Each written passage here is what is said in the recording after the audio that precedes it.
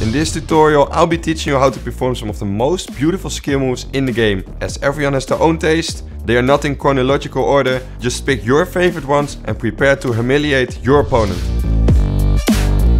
First one on the list is the ball roll chop. The skill move is very beautiful and it's a delight to use it to pass an opponent. Simply move your right stick either the left or right and then move it to the other direction. Drag your right stick from left to right via the bottom. Try this one out for sure. The principle is the same, except you drag your right stick from left to right via the bottom. Number 7 is the fake pass. This one might be surprising, but it's definitely worthy of its 7th place. All you need to do is hold R2 and press square or circle and immediately press X. On Xbox hold RT, press X or B and immediately press A.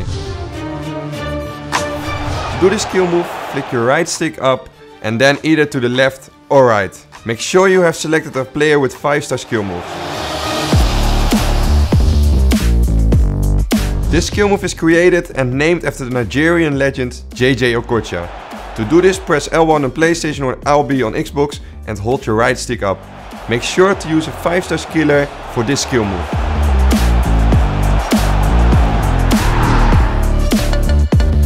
This one is great to humiliate your opponents when you are a few goals up.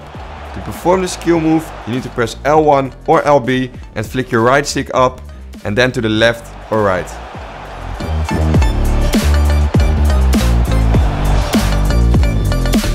This one looks incredible.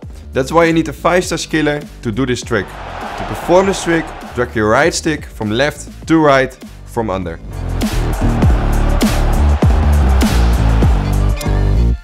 For this skill move, you have to have 4 star skills.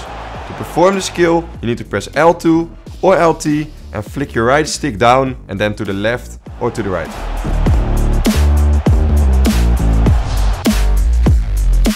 This is my personal favorite. Perform the skill move, you need to press your right stick down and go up two times with your right stick. So down, up, up with your right stick. I have shown you my top 10 list of most beautiful skill moves. Learn these skill moves yourself and there's no doubt you will embarrass some people.